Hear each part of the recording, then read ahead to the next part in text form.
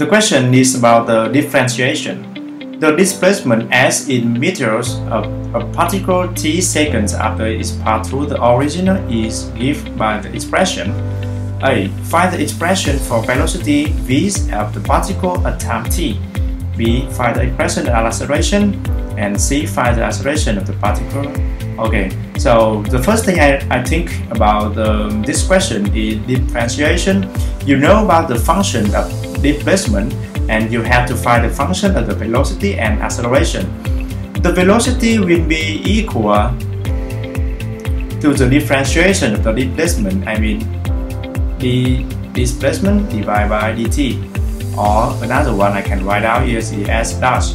So I have to dash of the ln 2 minus t here. Dash okay so when you got the fh uh, ln h and you want to take the dif uh, differentiation you will go into here and this question.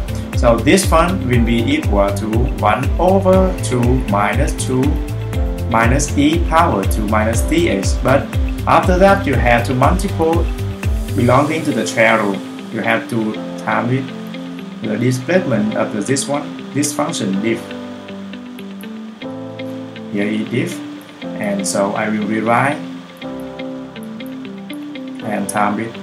2 you got uh, after diff you, you got 0 minus e here I unchain.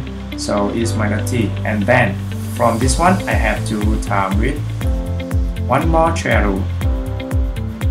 The diff of the minor t.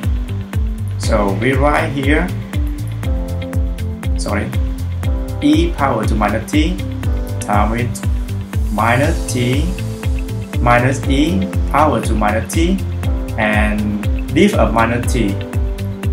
So here is minus 1 and you got here is minus and here also have minus minus time minus you got plus so the final result you will got here is power to minus t divided by 2 minus t here.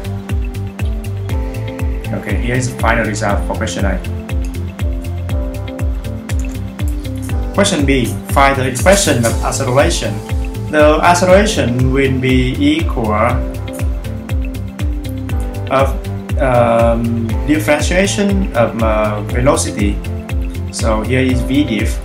I, I mean e power to minus t divided by 2 minus 2 e power to minus t and you take diff of this one.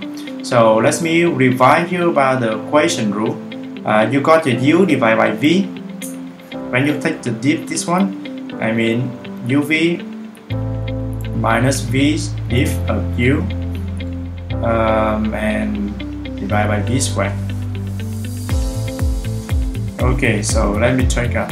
Take the z formula first, minus t, and take this time with 2 minus e power to t here, rewrite, that's only rewrite.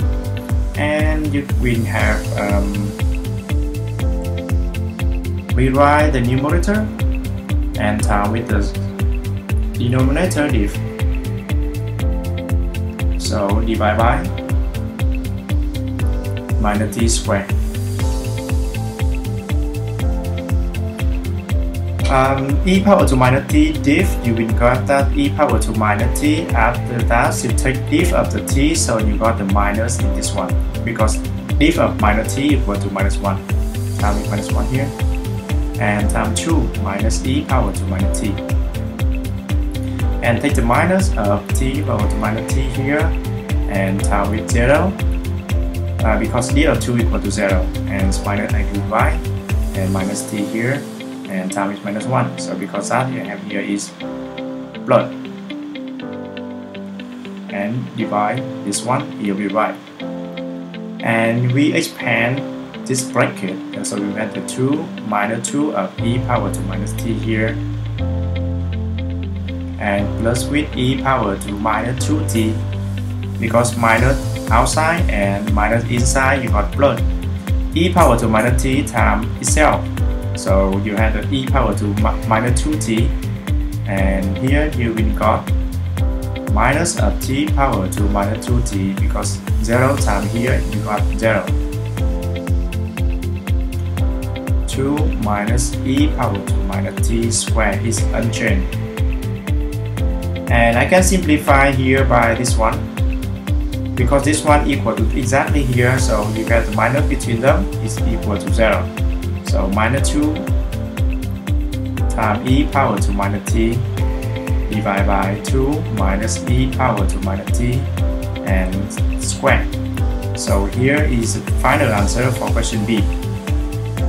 You know about the question C asks about the acceleration of the particle at time t equal to 0.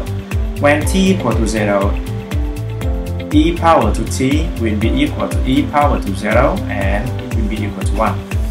Any number have power of 0 will be equal to 1. So for question C, uh, substitute t equal to 0 here, will got the numerator will be minus 2 times with 1 and divide by 2 minus 4 1 and take the square. So the final result for C will be equal to minus 2